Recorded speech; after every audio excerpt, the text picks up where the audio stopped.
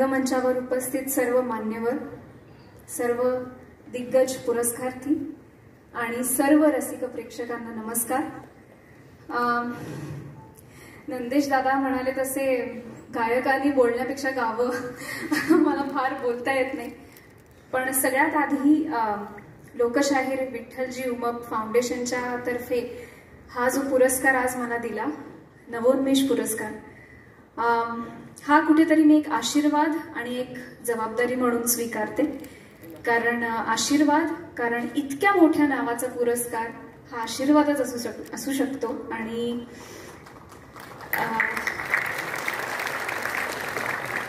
आणि जबाबदारी ह्या करता की जेव्हा मोठे आशीर्वाद देतात त्याबरोबर ते आपल्याला एक नेहमी जसे माझे आजोबा मला आशीर्वाद देताना म्हणायचे की हा मोठी हो आणि आता हे कर.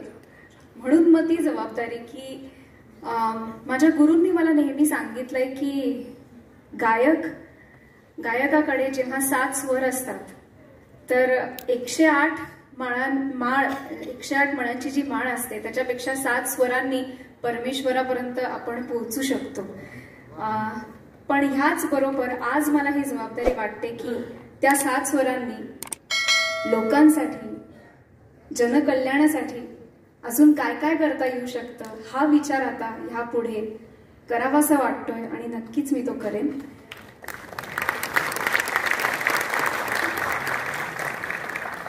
सर्व सभासदांचे आणि स- फाउंडेशनच्या सर्व सभासदांचे आणि नंदेशदादाचे मी मनापासून आभार मानते कारण ह्या इतक्या मोठ्या पुरस्कारासाठी माझा विचार झाला. मला नेहमीच एका शि- शिष्यत्वाच्या भूमिकेत राहायला आवडतं. त्यामुळे आय विल मेक शुअर की मी त्याच भूमिकेत राहून काहीतरी करण्याचा प्रयत्न करेन. आणि त्याचबरोबर सर्व पुरस्कार्थींचे मनापासून अभिनंदन मी करते. आज बारा वर्षांनी मी काकांना भेटते आहे दिलीप काकांना कारण पहिला चित्रपट शाळा त्यांच्याबरोबर करण्याची संधी मिळाली. आणि पुण्यामध्ये पहिल्यांदा एक सत्कार म्हणतात तेव्हा मी साडेतीन वर्षाची होते आणि सलील काका पण इथे आहे. पहिला अल्बम मी पहिल्या अल्बममध्ये पहिलं गाणं मी त्याच्यासाठी गायले आणि त्याच अल्बमचा लाईव्ह परफॉर्मन्स जेव्हा होता तेव्हा काकांकडून मला पहिल्यांदा सत्कार झाला होता. हे मला आज आठवते त्यामुळे खूप छान वाटतंय. तर आज खूप छान योग जुळून आलाय. तर त्यात एक छोटीशी भर म्हणून आज नेहमीच मी अभंग जो गाते तो विठ्ठलासाठी गाते पण आज ह्या विठ्ठलासाठी म्हणून दोन ओळी गाते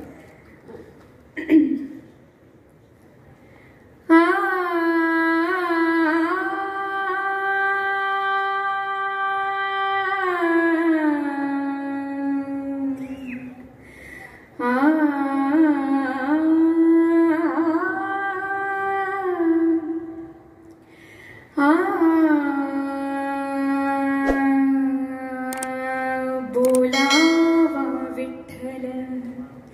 बोलावा विठ्ठल बोलावा विठ्ठल पहावा विठ्ठल करावा विठ्ठल जीव भाव करावा विठ्ठल विठ्ठल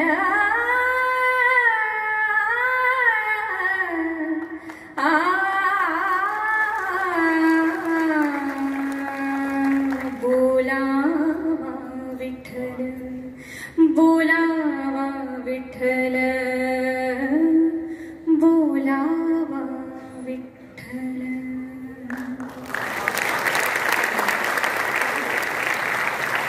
आणि शेवटी जाता जाता हा पुरस्कार माझ्या आई वडिलांना आणि माझे गुरु रघुनंदन पणशीकर आणि देवकीताई पंडित यांना मी अर्पण करते. धन्यवाद.